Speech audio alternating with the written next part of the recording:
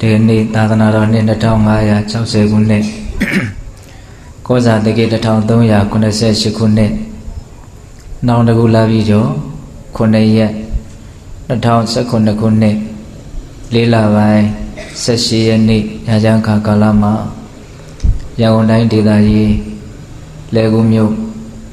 တစ္ဆာရွှေစီကျောင်းတိုက်တွင်မှာရှင်ကျင်းပကြတဲ့ခုနှစ်ရက်တာတတိပဋ္ဌာန်ဘာဝနာ တရားစခန်းပွဲမှာဒီကနေ့တရားဘာဝနာများကြိုးစားအထောက်ကြဖို့ရောက်ရှိလာကြတဲ့ယောဂီသူတော်ရှင်တို့ကိုဦးဇင်းတို့ဗာတရားဟောပြခြင်းလဲဆိုတော့တန်ယုတ်ပါဠိတော်တာဂတာဝကတန်ယုတ်ပါဠိတော်မှာလာရှိတဲ့ဥဒေယသုတ်တံဆိုတာကိုဦးဇင်းတို့ဟောဖို့စီစဉ်ထားပါ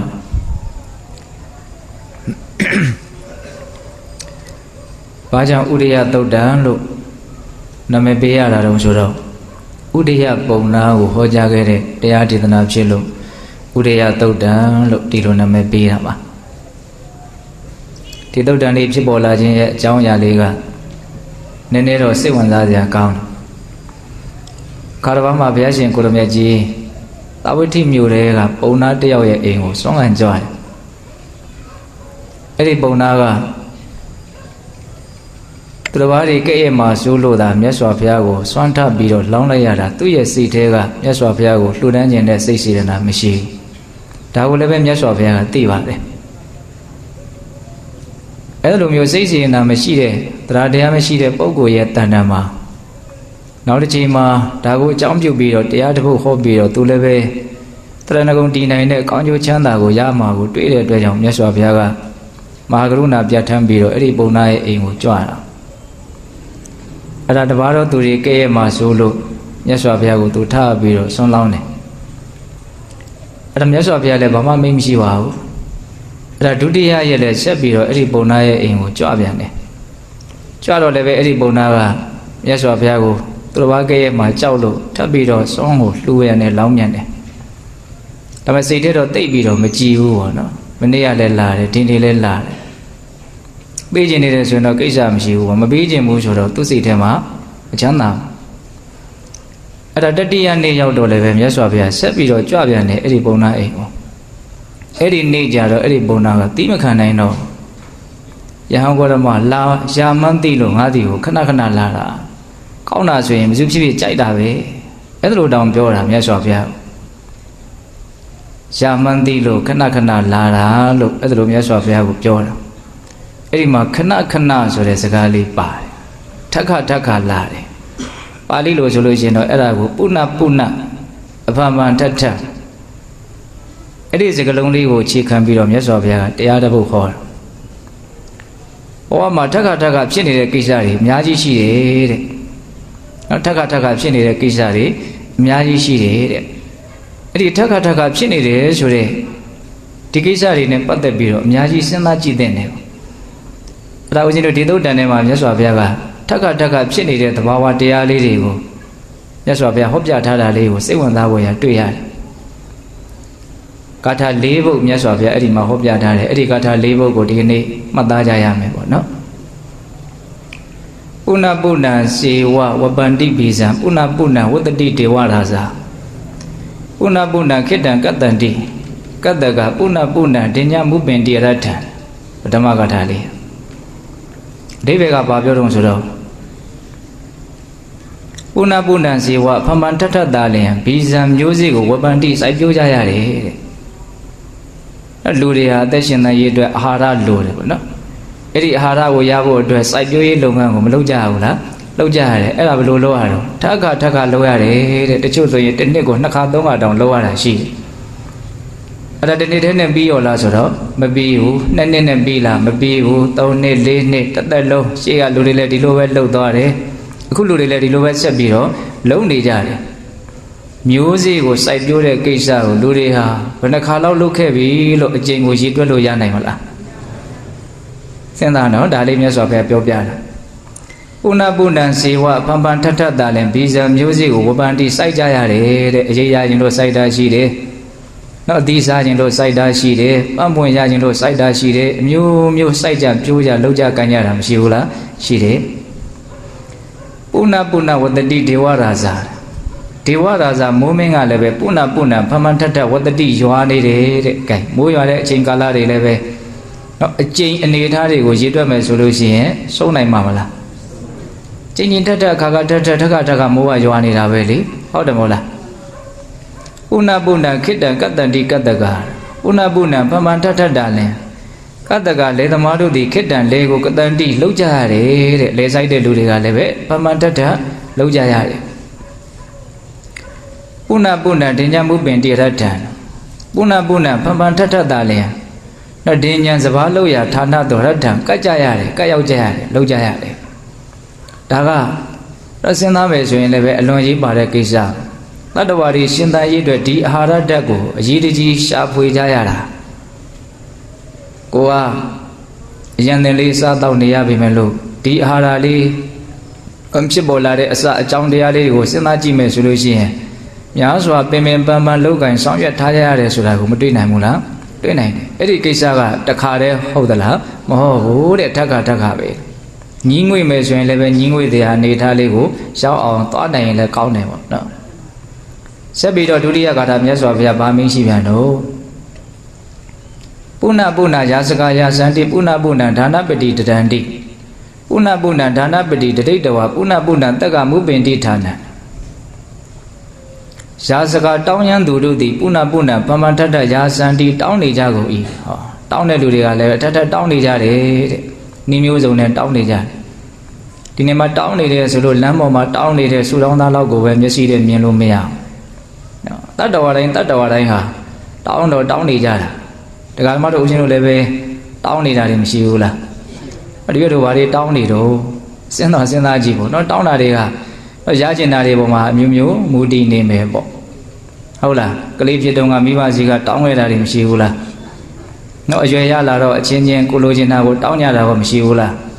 ရှိတယ်မိဘဖြစ်လာတော့လေသာသမီတွေကနေပေါ့ကိုလိုအပ်ချက်ကိုပြန်ပြီးတော့တောင်းတာကောမရှိဘူးလားရှိတယ် တောင်းတဲ့နေပေလည်းပဲအလွန်ကျေတယ်လို့ဆိုရတယ်ဟုတ်လားအလူကံပုံကိုယ်တွေကအလူပေးတဲ့ပုံကိုယ်တွေကစီစီကနေပြီးတော့တောင်းတာလောက်ကိုပဲမြင်လို့မပြည့်စုံဘူးဟုတ်တယ်မဟုတ်လားတရားဓမ္မတို့အရှင်တို့ရဲ့ဘဝမှာလိုအပ်ချက်တွေကိုတော့တောင်းရန်ချင်းဖြင့်ပြည်စည်းအောင်ပြည်စည်းအောင်ပြည့်စုံအောင်လုပ်ကြရတာတွေရှိတယ်ဟုတ်လားဒါကိုမြတ်စွာဘုရားကတောင်းတဲ့လူတွေကလည်းအထက်ထက်တောင်းနေကြတာပဲတဲ့ဒါနပတိ ဒါနရှင်တို့ကလည်းပဲပုဏ္ဏပုဏ္ဏဖမထထတရန္တိပေးနေကြကုန်၏တဲ့ဟောစေနာရှိတဲ့လူတွေတရားတရားရှိတဲ့လူတွေပေးဖို့ကံဖို့ဝါသနာပါတဲ့လူတွေကလည်းပဲအထက်ထက်ပါလို့နေတော့ပေးနေကြတယ်တဲ့အဲ့ဒီတော့ဘာဖြစ်တော့ပုဏ္ဏပုဏ္ဏဒါနပတိတတိတဝပုဏ္ဏပုဏ္ဏတက္ကမုပင်တိဌာနအဲ့လိုအထက်ထက်ပေးနေကြတဲ့ဒါနရှင်တွေကတော့ပုဏ္ဏပုဏ္ဏပံပန်ထထတာလဲတက္ကမုပင်တိဌာနအလွန်ချမ်းသာတဲ့နတ်ရွာနတ်ပြည်သို့ကရောက်ကြကုန်၏တဲ့ဟော ဘာမှထထပေးတဲ့လူတွေကတော့ကောင်းရမြတ်နတ်ပြည်ကိုရောက်ကြတယ်တဲ့တော့စိတ်ဝင်စားစရာကောင်းတာကပေးတဲ့လူတွေနတ်ပြည်ရောက်တယ်လို့ပဲဒီထဲမှာပါတယ်တောင်းတဲ့လူတွေနတ်ပြည်ရောက်တယ်လို့မပါဟုတ်လားပေးတာနဲ့တောင်းတာနဲ့ဘယ်ဟာကောင်းတော့ပေးတာကောင်းတာပါနော်ပေးရင်ကောင်းတယ်တောင်းရင်မုန်းတယ်ဟုတ်လားဒါကသဘာဝပဲနော်ဒါကြောင့်သူများအမုန်းခံကျင်လို့ရှိရင်တောင်းမယ်တောင်းကြည့်လိုက်နော်တခါတခါတောင်းရင်တော့တခါမဟုတ်တခါတော့မုန်းသွားမှာပဲ ဟုတ်ရဲ့လားဒါကြောင့်ဦးဇင်းတို့ဇတ်တော်လေးထဲမှာပြောထားတာလေးတခုလည်းရှိတယ်သူများဒီကနေရခြင်းလို့ပေးပါလို့ပြောရတာငိုတာနဲ့တူတူပဲတဲ့တော့တောင်းရတာဗါတဲ့တော့ငိုတာနဲ့တူတူပဲတဲ့ကိုယ့်ရဲ့လိုအပ်ချက်ကြီးမပြည့်စုံဘူးလို့ငိုနေတယ်လို့ကြီးနဲ့အလွန်တူတယ်တောင်းလာတာကိုပေးနိုင်မှလဲကင်းနေမပေးခြင်းဘူးလို့ညင်းဆိုရတာလည်းပဲငိုတာပဲတဲ့ဟောအဲ့ဒါလည်းစဉ်းစားရရှိတယ်နော်မပေးခြင်းဘူးလို့ပြောရတာလည်းဗါတဲ့တော့ ငိုတာပဲမပေးခြင်းဘူးလို့ပြောရတာလည်းပဲချမ်းချမ်းသာသာကြီးတော့မရှိလားဟုတ်ရဲ့လားတောင်းရတာလည်းမချမ်းသာမပေးခြင်းဘူးလို့ပြောရတာလည်းမချမ်းသာဘူးအဲ့ဒီတော့မတောင်းမဲနဲ့ပေးလိုက်ကြရင်တော့ပိုးပြီးတော့ကောင်းတယ်တောင်းရတယ်လို့လည်းပဲအတောင်းကတတ်တာဟုတ်လားပေးတဲ့လူလည်းပဲမပေးခြင်းဘူးလို့ပြောစရာမလိုဖမန်ထထပေးကြတဲ့ဒါနရှင်တွေကဖမန်ထထပဲနတ်ပြည်ရွာနတ်ရွာကိုကြောက်ကြရတယ်တဲ့အဲ့ဒါကထာနပုတ်ရှိသွား နောက်ပိုင်းကျမှလေးနဲ့တာတွေမြတ်စွာဘုရားဆက်ပြောပုဏ္ဏပုဏ္ဏခိတန္တိကဒုဟန္တိပုဏ္ဏပုဏ္ဏဝေသောဥပေတိမာတရာပုဏ္ဏပုဏ္ဏကိလမတိဖဏတိစပုဏ္ဏပုဏ္ဏဂဘောမုပိတိမန္တောတဲ့တတိယကထာလေးကဒိဗေကဘာပြောတော့ဆိုတော့ခိရနိကာနုညစ်သမားတို့သည်ပုဏ္ဏပုဏ္ဏဗဗန္တတဒုဟန္တိနုညစ်၍ယူကြကုန်၏နွားနုညစ်တဲ့ပုဂ္ဂိုလ်တွေတဲ့ အဖမန္တတသူတို့ဘာလုပ်ကြတော့နုညစ်ကြတယ်တဲ့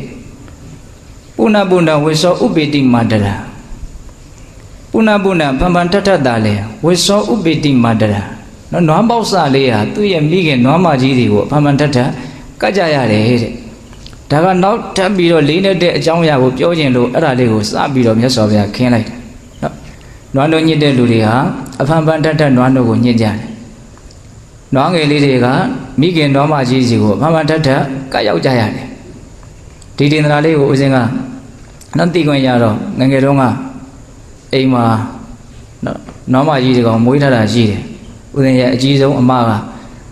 နော်ငယ်တဲ့အမကိုနွားတကောင်လက်ဆောင်ပေးတယ်ငယ်ငယ်တုန်းကအဲ့ဒီနွားမကြီးကတော်တော်ကြီးပါပြီအဲ့ဒါအိမ်ရောက်မှအဲ့ဒီနွားမကြီးဟာနွားလေးနှစ်ကောင်မွေးတယ်နှစ်ကောင် ပထမတကောင်မွေးတာလဲနှစ်တင်လေးပဲအကောင်လေးဈေးကောင်းကောင်းနဲ့ရောင်းစားရနောက်ဒုတိယတကောင်မွေးတဲ့အခါကျတော့အဲ့ဒီနွားမကြီးကြားတာကိုဦးဇင်းတို့ကအိပ်ပျော်နေကြတာမသိဘူးမနေ့၄နာရီလောက်ကြီးမှနွားကကြားအဲ့ဒါဖြစ်ချင်တော့ဓမ္မကြီးကဘူးဘူးပဲပဲလှုပ်တော့မှနိုးလာကြတာအဲ့တော့နမကြီးရဲ့နှစ်ဖားချိုးကဘလို့ဖြစ်နေဆိုနှစ်ပလန်ချသလိုဖြစ်ပြီးတော့အဲ့ဒီမွေးထားတဲ့နွားပေါက်စာလေးမွေးပြီးကစားလေးကိုခွေးကဆွဲသွားတာဟိုအဲ့ဒီမှာနမကြီးကယုံတာ အဲ့ဒါလူကအတိလျှောတော့တော်သေးတယ်အဲ့ဒါခွေးကစားပြီးနေပြီအဲ့ဒီနွားပေါက်စာလေးကိုဘယ်ကနေစစားတော့ဆိုတော့အမိကနေစစားအဲ့တော့အမိကလက်နှစ်တစ်လောက်ပဲကြမ်းတော့တယ်အဲ့ဒီနွားလေးကဒါပေမဲ့နှတင်လေးအဲ့ဒီနွားလေးကမသေးဘူးတကယ်လက်မတင်လေးပဲနောက်ထပ်1မိနစ်လောက်နောက်ကျရင်သေမှာပေါ့နော်အဲ့ဒါနဲ့အဲ့ဒီနွားလေးကိုမှီးတို့မှီးတို့ဆိုပြီးတော့ဒါဥစဉ်ဥစဉ်ဖြစ်ထိအဲ့ဒီနွားကြီးကအိမ်ကိုရုန်းကန်ပြီးတော့လှုပ်ကြွေးရှာပါတယ်ပြောချင်တာကဥစဉ်ကလေးတုန်းက အဲ့ဒီနာမရေးစီကနေနွားတို့ညှစ်ကြတာနော်နွားတို့ညှစ်တယ်ဆိုတာကနွားပေါက်စာလေးရှိမှညှစ်လို့ရတာကိုခုခေတ်လိုမေးထုံမဲ့နွားတွေဘာတွေလည်းမဟုတ်အဲ့တော့ဦးဇင်းတို့နွားတို့ညှစ်တဲ့ကိစ္စကတော်တော်ပင်ပန်းတဲ့ကိစ္စနော်ဒီထဲမှာတောရဒေသကလူတွေဆိုရင်တော့ဒါကသိကြတယ်မြို့ဝလူတွေအတွက်နည်းနည်းနားလည်အောင်ပြောပြတယ်နွားမကြီးကသူ့ရဲ့နှုတ်အုံထဲမှာနှုတ်တွေရှိနေတိုင်းကိုကညှစ်ယူလို့မရဘူး။ဘာလို့ရတော့ဆိုတော့အဲ့ဒီနွားပေါက်စာလေးကိုအရင်နှုတ်ချပေးအောင်အရင် ပတ်ပြီးတော့မနဲ့လင်းတဲ့အခါမှာသူ့နှုတ်အုံကြီးကားနေတာကိုနှုတ်ချပေးအောင်အရင်နွားမလေးကိုနှကလေးလေးနဲ့ပတ်ပြီးတော့ပြတယ်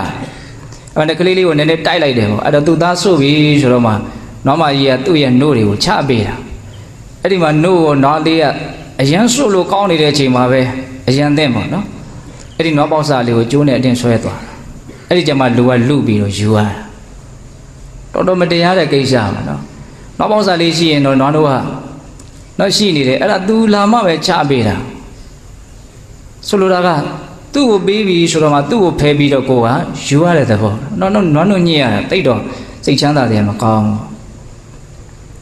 အဲ့တော့အဲ့ဒီနွားလေးကအမြဲတမ်းဒီမေကိုပဲကြည့်ပြီးတော့ယုံနေတယ်ဒါဒီနွားပေါက်စာလေးဟာမိခင်နွားမသည်ကိုခဏခဏကတ်ရတယ်ဆိုတဲ့ဥမာကတော်တော်ပုံပေါ်တယ်ပေါ့နော်အလွန်လည်းပဲသူက ဟိုတန်ရောစင်ကြီးတဲ့သဘောလည်းရှိတယ်နွားပေါက်စာလေးနဲ့နွားမကြီးနဲ့ဘယ်သွားလို့မှသူကခွဲတယ်လို့မရှိဘူးတပဲပဲပဲ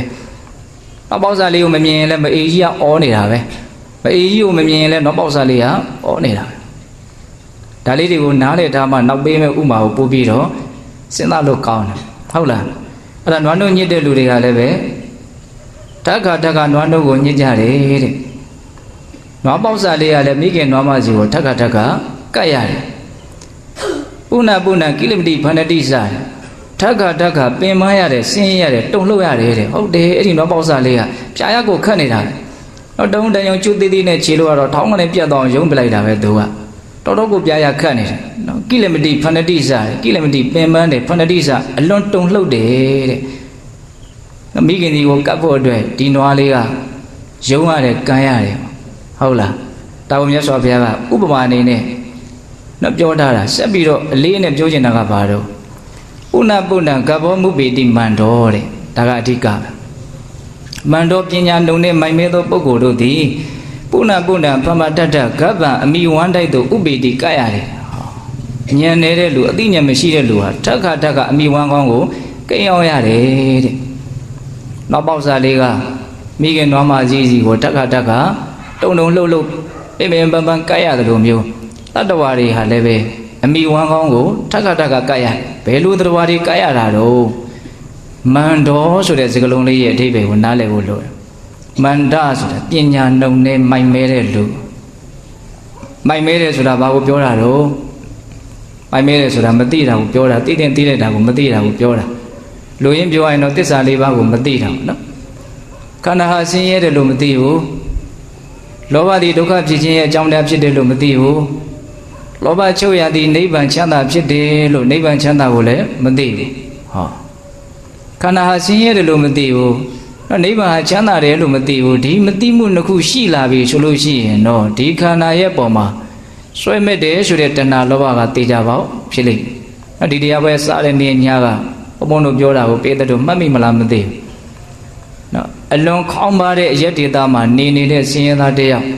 တာယာဘာပြောတဲ့အရက်ဒေတာကိုသူဘာလို့မသွားတာတော့ ကိုယ့်အရက်ဒေတာရဲ့စင်ရဲပုံစင်ရဲနီးတွေကိုလည်းပဲပြပြဝဝဒီအပြစ်နာစာကိုမသိမမြင်တာကတကြောင်ဒီအရက်ဒေတာထက်တာလွန်တဲ့ကောင်းမွန်တဲ့တာယာဘာပြောတဲ့အရက်ဒေတာရှိတယ်လို့မသိတာကတကြောင်ဒီအကြောင်းတစ်ခုကြောင့်သူဟာသူ့ရဲ့အရက်ဒေတာကိုမစွန့်ခွာနိုင်ဟုတ်ရဲ့လားအဲ့လိုပဲဦးဇင်းတို့ဝါခန္ဓာအရှင်းရတယ်လို့နော်ဒီအမှန်ဒီအပြစ်အနာစာကိုမသိတာကတကြောင်နိဗ္ဗာန်ချမ်းသာကိုမသိတာကတကြောင် အဲ့ဒီအကြောင်းနှစ်ရက်တို့ကြောင့်ဝါခန္ဓာရဲ့ပုံမှာဒကာဓမ္မတို့ဦးဇင်းတို့တွေဟာတွေ့တာမေမောတယ်ဆိုတဲ့လောဘဓာတ်တဏှာဓာတ်ဟာဖြစ်တယ်ပေါ့အဲ့ဒီတဏှာဒီဘဝအတိတ်တဖန်ထပ်ပြီးတော့ဖြစ်ခြင်းရဲ့အကြောင်းတရားပဲတဲ့ဟုတ်လားမန္တဆိုတာအဲ့ဒါကိုပြောတာတဲ့နောက်ခန္ဓာရဲ့အပြည့်အနာစာကိုမမြင်တဲ့အတွက်ကြောင့်ဒီခန္ဓာမျိုးကိုပဲတက်ပြီးတော့ရကျင်တဲ့စိတ်ဖြစ်တယ်အဲ့ဒီရကျင်တဲ့စိတ်ကိုဘဝတဏှာလို့ခေါ်မယ်ပေါ့နော် အဲ့ဒီဘဝတဏှာရှိတဲ့အတွက်ကြောင့်အမိဝမ်းကောင်းကိုသူဟာထက်ခါထက်ခါအောင်းရတယ်တဲ့ဟုတ်လားအဲ့တော့ဒကာဓမ္မတို့ဦးချင်းတို့တွေကိုဟာလူမိုက်လား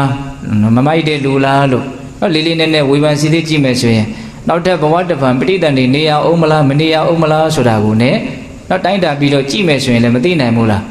ဒါကတော့အလွန်မြင်မာတဲ့တိုင်းတာခြင်းပေါ့နော်အကုသိုလ်ဒုစရိုက်တွေကိုလှုပ်ပြီးတော့အပင်ငရဲဆင်းရလောက်အောင်မိုက်တဲ့လူလောက်တော့မမိုက်ဘူးပေါ့ဟုတ်လား သို့တော်လည်းပဲအမိဝမ်းကောင်းကိုအောင်းဖို့အတွက်အကြောင်းတရားတွေကိုလှုပ်နေသေးတယ်ဆိုရင်ကိုဟာဒီဒေသနာယမန္တမိုက်မဲတဲ့ပုံကိုအမျိုးစားထဲမှာတော့ပါနေမယ်ပေါ့ဟုတ်ရဲ့လားဒါကြောင့်အမိဝမ်းကောင်းကိုတက်ကတက်ကအောင်းရတယ်ဆိုတာဘယ်လိုလူမျိုးလဲလို့မေးရင်တစ္ဆာလေးပါးကိုမသိမမြင်ကြလို့နော်ဒီဘဝခန္ဓာရဲ့ပုံမှာတွေ့တာမမုံမှုမကင်းကြတဲ့ပုံကိုယ်တွေရဲ့သွားရလမ်းပေါ့နော်ဒါကဦးဇင်းတို့တတိယဂါထာလေးနောက်ဦးဇင်းတို့၄ခုမြောက်ဂါထာကြတော့ အဲလိုအမိဝမ်းကောင်းကိုတက်ကတက်ကအောင်းရလို့ဘဝတပံဖြစ်ရပြီဆိုရင်ဘာတွေတက်ကတက်ကဖြစ်လာမလဲဒါကိုစဉ်းစားရမယ်နော်ပုဏ္ဏပုဏ္ဏဇာယတိမိယတိသပုဏ္ဏပုဏ္ဏတိဝတိကံဟရန္တိပုဏ္ဏပုဏ္ဏဖမန်ထထတာလင်ဇာယတိသမွေးလဲမွေးဖွားရည်မိယတိသသေလဲသေရည်ထက်ခါထက်ခါမွေးဖွားရတယ်ပြီးရင်ထက်ခါထက်ခါသေဆုံးရတယ်တဲ့တစ်ဆက်တည်းပဲပြောလိုက်တော့မယ် ပုဏ္ဏပုဏ္ဏဖမန်ထထတိဝတိကံနော်သင်ချိုင်းသူမိမိရဲ့ရုပ်လောင်းကိုဟရန္တိသေဆောင်ကြကုန်ပြီဒီရုပ်ခန္ဓာကိုကြီးကိုထက်ခါထက်ခါနော်သင်ချိုင်းကိုပို့ပို့တာကိုခံကြရတယ်ဒါမိဝမ်းကောင်းကိုအောင်းရပြီဆိုတာ ਨੇ ဖြစ်စဉ်ကဒီအနေထားတွေကတန်းပြီးတော့မလာဘူးလားနော်အဖမန်ထထမွေးဖွားရတယ်အဖမန်ထထသေဆုံးရတယ်အဖမန်ထထအလောင်းကောင်ကိုသင်္ကြန်ကုန်းကိုအပုတ်ခံရတယ်တဲ့ဟုတ်လားဒါကဦးဇင်းတို့မြတ်စွာဘုရားက နော်ဘဝရဲ့အပြည့်အနာစာဘဝရဲ့ဒုက္ခကိုနော်ထိထိမိမိရှိတာကိုပဲလူရင်းကြကြပြောလိုက်တာဘဝရဲ့အကြီးကျယ်ဆုံးသောအပြည့်အနာစာကဘာလဲလို့မေးရင်သေဆုံးခြင်းပဲဟုတ်တယ်မဟုတ်လားဖြစ်လာတယ်နော်ပြီးရင်ဘာဖြစ်မှာတော့သေမှာပဲနော်ဘာကြီးပဲဖြစ်လို့နေနေဘာတွေပဲရထားတယ်လို့ပြောပြောပြောဘလို့အနေထားမျိုးကိုပဲပိုင်ဆိုင်ထားတယ်လို့ဆိုဆိုပြီးရင်တော့ဘာဖြစ်မှာတော့သေမှာပဲသေရမယ့်ဘဝဟာတကယ်တမှုရှိတဲ့ဘဝလို့မဆိုနိုင်ဘူးဆိုတာကတော့သေခြင်းတရားကိုစဉ်းစားဖို့တဲ့ပုဂ္ဂိုလ်တိုင်းပဲပဲနေနေစဉ်းစားဖို့တဲ့ပုဂ္ဂိုလ်တိုင်းအထိုက်လျောက် သဘောပေါက်နိုင်တယ်ပေါ့သေရမယ့်ဘဝဟာကောင်းတဲ့ဘဝမဟုတ်ဘူးဆိုတာအလွန်ထင်ရှားပါတယ်ဘဝဟာတန်ဖိုးမဲ့တယ်ဆိုတာကိုပုံပေါ်ခြင်းတယ်ဆိုလို့ရှိရင်ဉာဏ်ထဲမှာရှင်းခြင်းတယ်ဆိုလို့ရှိရင်သေခြင်းတရားကိုသာထက်ခါထက်ခါစဉ်းစားကြည့်လိုက်ပါဟုတ်ရဲ့လားတော့သေခြင်းတရားဖြင့်အဆုံးသတ်ရတဲ့ဘဝဒီဘာတန်ဖိုးမှမရှိဘူးဆိုတာကိုသေခြင်းတရားကိုစဉ်းစားလို့ဉာဏ်ပညာထက်ရင်ထက်တယ်လို့အဲ့ဒီပုဂ္ဂိုလ်နားလည်နိုင်လိမ့်မယ်ပေါ့ဖြစ်လာတယ်ပြီးရင်သေသွားတယ်ဖြစ်လာတယ်ပြီးရင်သေသွားတယ်ဒါပဲလေ ဟုတ်တယ်မဟုတ်လားဒါကြောင့်မြတ်စွာဘုရားကဥနာပုဏ္ဏဇာယတိမိယတိစာမိဝမ်းကောင်းအောင်းရပြီဆိုရင်တော့အဲ့ဒီပုဂ္ဂိုလ်ဘာဖြစ်မလို့မွေးဖွားလိမ့်မယ်ပြီးရင်သေရလိမ့်မယ်တဲ့သေပြီးရင်လည်းပဲသေချမ်းကိုဖမှန်တတ်တတ်ဒီခန္ဓာရုပ်အလောင်းကိုသေပို့တာကိုခံရလိမ့်မယ်တော့ဒီနေ့မှာဦးဇင်းတို့မွေးတာနဲ့သေတာရဲ့ကြားမှာ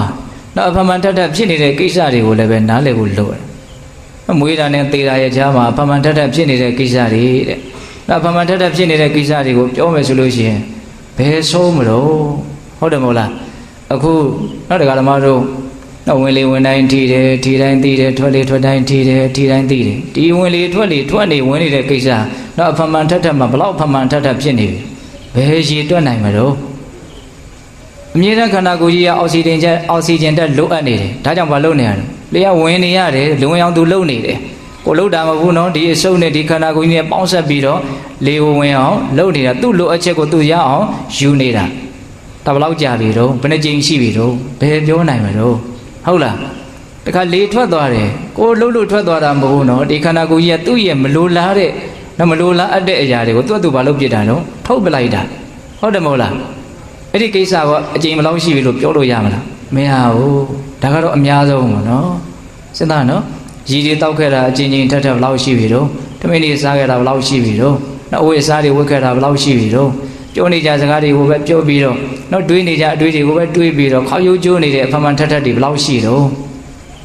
ဖြစ်နေကြလောဘတွေပဲဖြစ်ပြီးတော့ဖြစ်နေကြဒေါသတွေပဲဖြစ်နေရတာကဘလောက်ရှိတော့ဟုတ်လားအဲ့ဒါတွေဖြစ်ပြီးတော့ဖြစ်နေကြပူလောင်မှုတွေနောင်တမှုနောင်တရမှုတွေနဲ့ဆင်းရဲနေရတဲ့အဖမှန်ထက်ထက်တွေကဘလောက်ရှိတော့ညာသောဖြင့်ဒကာမတော်ဦးဇင်းတို့ရဲ့ဘဝမှာအဖမှန်ထက်ထက်တွေက ကောင်းတာတွေများသလားမကောင်းတာတွေများသလားလို့ပြောရင်ဘယ်လိုပြောရမလဲမကောင်းတဲ့အဖမှန်ထက်ထက်တွေပဲများတာနော်ဒါကြောင့်မကောင်းတဲ့အဖမှန်ထက်ထက်တို့ရဲ့အကျိုးဆက်ဖြစ်တဲ့ဆင်းရဲဒုက္ခကိုလည်းပဲပူလောင်မှုကိုလည်းပဲအဖမှန်ထက်ထက်ခံစားရတယ်ဒုက္ခဝေဒနာတွေလည်းအဖမှန်ထက်ထက်ပဲဒုက္ခဝေဒနာတွေလည်းအဖမှန်ထက်ထက်ပဲဒါကြောင့်ဘာပဲဖြစ်နေဖြစ်နေဒီအခုဖြစ်နေတဲ့ကိစ္စမျိုးတူနော်ဒီလိုကိစ္စမျိုးနီးတူဘယ်နှကြိမ်လောက်ဖြစ်ခဲ့တယ်လဲဆိုတာလေးကိုစဉ်းစားကြည့်ရင်လည်းပဲတန်ဝေကရကောင်းတယ်ပေါ့ ဘယ်ကိစ္စပဲဖြစ်ဖြစ်ထက်ခါထက်ခါဖြစ်နေတဲ့ကိစ္စတွေပဲများတယ်ဒါကိုကိုယ်စိတ်ထဲမှာမယိုးနိုင်ဘူးမအီနိုင်ဘူးဒါကိုပဲပါတော့ตายရနေရတယ်ဟုတ်တယ်မဟုတ်လားစဉ်းစားကြည့်နော်တမင်းဆိုနှစ်တိုင်းစားနေရမှာနော်စားကောင်းလိုက်တာဆိုပြီးတော့တမင်းစားရတာပြင်းလိုက်တာလို့ရှိခဲတယ်ဟုတ်တယ်မဟုတ်လားစဉ်းစားကြည့်နော်စာသားနဲ့စားလိုက်ရတယ်ဆိုရင်ဒါဘလို့ထင်းနေတော့စိန်ခံတဲ့ကိစ္စလို့တောင်ထင်နေတာရှိတယ်ဟုတ်ရဲ့လား ဒါကြောင့်တကယ်တကယ်စဉ်းစားကြည့်မယ်ဆိုရင်ဒီဘဝမှာဗမာထက်ထက်ဖြစ်နေတဲ့ကိစ္စတွေကအလွန်တရာမှမများဘူးလားများတယ်အထူးသဖြင့်နော်အကုသိုလ်ကိလေသာတွေကဗမာထက်ထက်ဖြစ်တယ်ထိုအကုသိုလ်ကိလေသာတို့ကြောင့်စိတ်နှလုံးပူလောင်ရတာပင်မရတာဆင်းရဲရတာတွေလည်းအဖမှန်ထက်ထက်ဖြစ်တယ်ဘာမှလည်းထူးတာမဟုတ်ဒါတွေပဲထက်ထက်ထက်ထက်ပြီးတော့ဖြစ်နေတယ်ဟုတ်လားတရက်တာကုံဆုံးသွားတဲ့အနေအထားလေးကိုဝေဖန်ကြည့်စစ်စစ်ကြည့်မနဲ့လင်းလာပြန်ပြီဟုတ်လားခန္ဓာကိုယ်တုတ်တင်ရတယ်စားဖို့တောက်ဖို့လုပ်ရတယ် နော်ရှာဖို့အတွက်လုပ်ငန်းကိုသွားရတယ်စက်ရုပ်တရုပ်လိုပဲလုပ်နေကြလုပ်လုပ်ပြောနေကြပြောပြောသွားနေကြခရီးသွားနော်တွေ့နေကြလူနဲ့တွေ့ပြီးတော့ပြီးတော့ပါတော့နော်ဦးနေကြတိုင်းဦးနာနေကြတိုင်းနာသေနေကြတိုင်းသေကြရတာပေါ့ဒါပါပဲဟုတ်တယ်မဟုတ်လားဒါကြောင့်မွေးဖွားတာနဲ့သေဆုံးခြင်းရဲ့ကြားမှာဖြစ်ပေါ်နေတဲ့အဖမှန်ထက်ထက်တွေကိုညံချဲ့ပြီးတော့နားလည်ဖို့မလိုဘူးလားလိုတယ်နော်တကယ်တကယ်ဖြစ်နေတာကတော့ဘာတွေတုံးလို့မေးရင်ဆင်းရဲဒုက္ခတွေပဲဖမှန်ထက်ထက်ဖြစ်နေတာပါဟုတ်ရဲ့လား နော်ဆင်းရဲဒုက္ခတွေပဲဖမှန်ထက်ထက်ဖြစ်နေတာဒါကြောင့်ဦးဇင်းတို့လေဒီဆိုဘုရားကြီးရေးထားတဲ့လင်္ကာလေးတွေရှိတယ်တန်တေဇာတိခန္ဓာရှိကညာတိဘောကစသည်တင်ပင်ကိုယ်ကွင်းချင်းနဲ့မကင်းစသာကြုံကြိုက်လာတော့ပူဇာတောကယူတငိုကြွေသမွေးဝင်တံပူချမ်းဒုက္ခအနိဋ္ဌနဲ့စိတ်အနိဋ္ဌကြောင့်စိတ်ကမကြည်မစီငင်ဆိုင်အလိုက်အလဲဆင်းရဲငါးပါးအချင်းအားဒီကျေပွားအနန္တတွေ့ကြုံရသည်မူလဇာတိအနှုံးဒီလို့ဆိုရရေးတယ် နော်ဇာတိပစ္စည်းဟာဇရာမရဏတောကပရိဒေဝဒုက္ခဒေါမနတဥပယာတအဲ့ဒီသဘောလေးကိုရေးပြတာနော်လူရလူဖြစ်လာလို့ရှိရင်နော်တောကပရိဒေဝဒုက္ခဒေါမနတဥပယာတဆိုတဲ့နော်ဒုက္ခဆင်းရဲဒုက္ခအကျဉ်းအဖြစ်၅မျိုးနော်တောကဆိုတာမပြောတာတော့စိုးရင်တာဘဝမှာစိုးရင်ရတဲ့အကျဉ်းတွေအထက်ထက်ဘလောက်များခဲ့ပြီလဲလို့စဉ်းစားရင်ကဏ္ဍမလောက်ဘူးပေါ့ဟုတ်တယ်မဟုတ်လားပရိဒေဝဆိုတာဗာလဲငိုကြွေးရတာငိုကြွေးတယ်ဆိုတဲ့နေရာမှာဦးဇင်းတို့ နော်အတန်တိန်ငိုကြွေးတာရှိတယ်အတန်ထွက်ပြီးတော့ငိုကြွေးတာရှိတယ်ပေါ့ဘယ်နည်းနဲ့ပဲငုံကိုအလိုမကြတိုင်းတရားဓမ္မတို့ဦးဇင်းတို့ပုထုဇဉ်တွေဟာငိုကြရတာမရှိဘူးလားရှိတယ်သောကပရိဒေဝပြီးတော့ဗာတော့ဒုက္ခဒုက္ခဆိုတာကိုရှင်းရဲတာနော်ခန္ဓာကိုယ်ကပေါက်ပြန်လို့ယောဂဗျာနှိမ့်ဆက်လို့ဆင်းရဲတာကတစ်ကြောင်းတိုက်မိခိုက်မိလို့သို့မဟုတ်ယာတိဥဒုအနေထားကြောင့်ဆင်းရဲတာကတစ်ကြောင်းအမျိုးမျိုးသောအကြောင်းကြောင့်ခန္ဓာကိုယ်ကြီးဆင်းရဲရတဲ့ဒုက္ခဆိုတာခန္ဓာရတဲ့ပုဂ္ဂိုလ်တွေမရှောင်နိုင်ဘူးပေါ့အဖမှန်ထပ်ထပ်ဖြစ်ရတယ် ဒေါမနတဆိုတာဘာပြောတာတော့စိတ်ဆင်းရဲတာဒီစိတ်ဆင်းရဲတယ်ဆိုတဲ့ကိစ္စကလည်းပဲဘဝမှာအဖမှန်ထပ်ထပ်ဖြစ်ကြရတယ်ဟုတ်လားစိတ်ဘာကြောင့်ဆင်းရဲတော့စိတ်ဘာကြောင့်ဖြစ်ဆင်းရဲရတော့သူဖြစ်ချင်တာမဖြစ်လို့သူမဖြစ်ချင်တာတွေဖြစ်လို့အနှစ်ချုပ်ပြောရတော့ဒါပဲသူဖြစ်ချင်တာကဘာတော့ဆိုတော့လည်းပဲပြောရတော်တော်ခက်တယ်တော့သူမဖြစ်ချင်တာကဘာတော့ဆိုတော့လည်းပဲအလွန်တရာမှကျေပြန့်တယ် တော့စိတ်ဆင်းရဲတွေအရာတွေကြုံတိုင်းကြုံတိုင်းစိတ်ဆင်းရဲနေရတဲ့အနေအထားတွေကြုံတိုင်းကြုံတိုင်းဩဘာမှထက်ထငါစိတ်ဆင်းရဲနေခဲ့ရတာပါလားဆိုတာကိုစဉ်းစားဖို့လိုတယ်ပြီးတော့ဒီစိတ်ဘာလို့ဆင်းရဲတာတော့ဆိုတာကိုလည်းပဲအကြောင်းရှာတတ်ဖို့တော့လည်းလိုတယ်ပေါ့အများသောအားဖြင့်လူတွေစိတ်ဆင်းရဲကြတယ်ဆိုတာတကယ်မဖြစ်မနေဆင်းရဲတဲ့ဟောဆင်းရဲတဲ့နာရလို့တော့မရှိဘူးပေါ့လေဟုတ်လားကိုယ့်ရဲ့အတွေးတွေကတဘာဝမကြလို့ နော်စိတ်ချမ်းသာအောင်ကိုမတွေးတဲ့လို့တနည်းအားဖြင့်စိတ်မဆင်းရဲအောင်ကိုမတွေးတဲ့လို့စိတ်ဆင်းရဲကြရတာပဲများပါတယ်ဆိုကြပါစို့ယောဂဗျာဖြစ်တယ်နော်ခန္ဓာကိုယ်ကြီးဆင်းရဲတယ်ဆိုတော့စိတ်လည်းဆင်းရဲတယ်အကြောင်းရှိတယ်အဲ့ဒီလိုအနေထားမျိုးမှာစိတ်ဆင်းရဲတယ်ဆိုတာတော့ထားတော့ဟုတ်လားနော်သို့တော်လည်းပဲတခါတည်းရမှာကိုယ့်အနေကိုပဲစိတ်ကိုမထားတဲ့လို့စိတ်ဆင်းရဲနေကြရတဲ့လူတွေလည်းအများကြီးရှိတယ် ဟုတ်လားစိတ်ကလေးကိုတဲအောင်ထားလိုက်လို့ထားလိုက်လို့ရှိရင်မစင်းရဲဘူးပေါ့နော်တချို့စိတ်ဆင်းရဲမှုကရှောင်းဖို့နည်းနည်းခက်တယ်မဖြစ်မနေဆင်းကိုဆင်းရဲမဲ့အနေအထားမျိုးကြီးပေါ့လေဟုတ်လားတချို့စိတ်ဆင်းရဲမှုကကိုရှောင်တတ်မယ်ဆိုရင်ရှောင်လို့ရတယ်ရောက်တော့ဖြစ်တော့အဲ့ဒီစိတ်ဆင်းရဲလာပြီဆိုရင်အဲ့ဒီစိတ်ဆင်းရဲတဲ့အကြောင်းကိုမနေ့တုန်းကပြောရတဲ့နီလန်းများနဲ့ဟုတ်လားအာယုံမပြူဘူးကွာဒီပြင်ကောင်းမြတ်တဲ့အာယုံနဲ့ပဲနေလိုက်မယ်လို့ကိုလုံနိုင်တယ်ဆိုရင်အဲ့ဒီအချိန်မှာကိုဘာလုပ်လို့တတ်တာခွင့်ရတာပေါ့ဟုတ်လား တခါတလေကိုစိတ်ဆင်းရဲနေတဲ့ကိစ္စတွေကကိုယ့်ကိုယ်ကိုယ်သာနားမလည်မှုတွေကြောင့်မှားယွင်းမှုတွေကြောင့်ဆင်းရဲနေရတာတကယ်တကယ်စိတ်ဆင်းရဲတဲ့အကြောင်းမဟုတ်ဒါကိုတော့ကြည်ကြည်ပြင်းပြင်းလည်းပဲနားလည်ဖို့လိုတယ်เนาะအသေးစိတ်လည်းပြောကြတော့တော့ကောင်းပါတယ်သို့တော့ဦးဇင်းတို့တော့ဒီအကြောင်းအရာကအဓိကပြောဖို့မဟုတ်တဲ့အတွက်ကြောင့်ဆက်ပြီးတော့သွားရအောင်ဟုတ်လားသောကပတိဒေဝဒုက္ခဒေါမနတာပြီးတော့ဗါတော့ဥပယာတာပြင်းစွာပင်ပန်းတယ်အစိတ်တွေဆင်းရဲလာပြီဆိုရင်လူဟာပင်ပန်းတယ် နော်ဆင်းရဲဒုက္ခဆိုတာအကျဉ်းအဖြစ်အဲ့ဒီ၅ပါးအကျေပွားလိုက်မယ်ဆိုရင်တော့အနန္တရှိတယ်တဲ့ဒါဖြစ်ပေါ်လာတဲ့မွေးဖွားခြင်းကိုအကြောင်းပြုပြီးတော့ဖြစ်လာတဲ့အဖမှန်ထက်ထက်ဆင်းရဲနေရတဲ့အနေအထားပေါ့ဒါကိုဆရာကြီးကရေးတာနော်တန်တေဇာတိခန္ဓာရှိကတလုံးချင်းစဉ်းစားရင်တော်ကောင်းတယ်သူ့ရဲ့လင်္ကာလေးကတန်တေဇာတိခန္ဓာရှိကညာတိဘောကစသည်သင်ပင်ကိုယ်ကွင်းချင်းဖြင့်မကင်းစသာကြုံကြိုက်လာတော့အပိုင်ဆိုင်မှုတွေပတ်သက်မှုတွေနဲ့တစ်ချိန်မှာမလုပ်အောင်ခွဲရလိမ့်မယ်ခွာရလိမ့်မယ် ကိုယ်ရလိမ့်မယ်၊ကွာရလိမ့်မယ်။အဲ့ဒီချိန်မှာတရားသမတို့ဦးဇင်းတို့တွေပုံမှန်တိုင်းရက်တည်နိုင်မလို့ထင်ပါသလား။ရက်တည်နိုင်ပါဘူး။ဟုတ်လား။မကင်းစသာကြုံကြိုက်လာတော့ပူစာတောကယူတငိုကြွေးတယ်။စိတ်ထဲမှာပူစာသားတွေဖြစ်လာတယ်။ကေပါအောင်ယူပါအောင်လို့ပြောရတယ်။ဟိုလူတဒီလူတတရတယ်။ယူတငိုကြွေးဟုတ်လား။ပူစာတောကယူတငိုကြွေး သမွေးဝင်တန်းပူချမ်းဒုက္ခအနိဋ္ဌကြောင့်စိတ်ကမကြည်မစီငင်ဆိုင်အလိုက်အလဲတဲ့ဟောကောင်းတယ်နော်ဟုတ်တယ်တော့သမွေးဒုက္ခနော်အသမွေးအကြောင်းမှုပြုရတာကိုကြောင်းပြုပြီးတော့ဒုက္ခရောက်ရတာဒီအများကြီးမရှိဘူးလားနော်ပူချမ်းဒုက္ခနော်အနိဋ္ဌကြောင့်အနိဋ္ဌဆိုတာဘာတော့ကိုမလိုလားအပ်တဲ့မမြင်ခြင်းနဲ့မကြားခြင်းနဲ့အာယုန်တွေကိုအနိဋ္ဌယုံလို့ပြောတာဟုတ်လား အသက်မွေးဝင်တန်းပူချမ်းအသက်မွေးဝင်တန်းတယ်ဟုတ်လားဝင်ထမ်းဆိုတဲ့စကားကလည်းတော်တော်တော့လန့်စရာကောင်းဘာလို့ရလဲဝင်ထမ်းရတယ်တဲ့နော်20ရက်နေ့ကျရင်ပြန်ကြမယ်နော်ဘာလို့ကြဝင်သွားထမ်းရမယ်ဟုတ်လားဝင်တန်းနေရုပ်ပိရက်ကုံသွားပြီဝင်သွားထမ်းရမယ်ဟုတ်လားနော်သက်မွေးဝင်တန်းပူချမ်းဒုက္ခအနိဋ္ဌကြောင့်စိတ်ကမကြည်မစီငင်ဆိုင်အလိုက်အလဲဆင်းရဲငါးပါးအကျဉ်အာတိ ကျေပွားအနန္တတွေ့ကြုံရသည့်မူလဇာတိအနှုံးတည်တဲ့ဇာတိရဲ့လို့ဖြစ်လာရင်တွေ့ကြုံရမယ့်အမှန်တတ်တဲ့ဒုက္ခအဲ့ဒါကိုအရင်တို့နပရိစ္ဆေသမုပ္ပါဒီမဏီမှာစရောဘုရားကြီးရေးတာနောက်ဆုံးဏီကုန်းကျုပ်လင်္ကာလေးကလည်းပဲအလွန်ကောင်းပါအဲ့ဒါကတော့ဧဝမေတ္တကိဝလတ္တဒုက္ခခန္ဓတသမုဒယဟောတိဆိုတာလေးကိုကြည့်ပြီးတော့ရေးတာဝတ္တန်တရားရှိမင်းစွာ၌သူငါကစဖြစ်သည်မြကတတ္တမဟုတ်ဓမ္မထုတ်တော်နာယုံနှစ်သိန်းအမြင်လင်းလော့အရင်အဝိဇ္ဇာထိုမှဖြာ၍ ဇရာမရဏအဆုံးကြသည့်ဓမ္မအပြ12ပါးကိုဤကားလူပင်ဤလင်နှစ်ပဲ့အထင်လွဲလျက်တဝဲလီလီဝိနွယ်စီ၏ရှိလေသမျှအနန္တကဒုက္ခဟုသည်မြူမြမကွက်အဆက်ဆက်လျင်တသက်ဒုက္ခဓမ္မံရသည်ဘဝဤကိုဖြစ်ထုံးသည်တဲ့ပရိစ္ဆေသမုပ္ပါအင်္ဂါ12ပါးနော်ဘုရားဆိုတော်ဘုရားကြီး